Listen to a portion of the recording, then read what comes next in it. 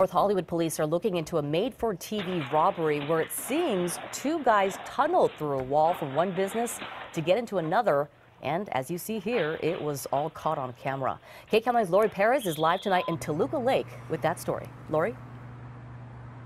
Yeah, it looks like the robbers really weighed their options when looking at this computer store behind me that got hit. They probably looked inside, saw the product, and thought, well, there's probably a pretty good security system in there. Next door at this nail salon, probably less so. And so this is where the robbers got creative straight out of Hollywood and not far from it.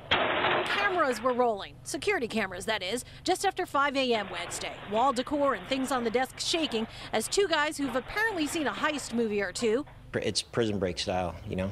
Come through one section, and get out the other. Tunneled through a wall and into Blake Purdy's Toluca Lake boutique computer shop. This is security video of them first coming through the rear of the nail salon next door and heading into a facial room, he says, to start busting through. Um, I actually saw that live as it was happening. Purdy says his own extensive security system captured the thought they were clever robbers getting into his place. Listen here as they spot a motion detector.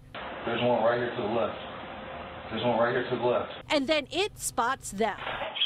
Setting off a mad dash, grabbing a PC and the only iMac not tethered before apparently realizing anything not locked up is just used for parts. Notices that those are part computers that have problems, and then he looks down at the, the PC and goes, well, I just broke that by dropping it, and ends up with nothing. Tonight, Purdy hopes someone recognizes these faces and helps them from getting anything ever. I, I just don't want them to gain experience, you know?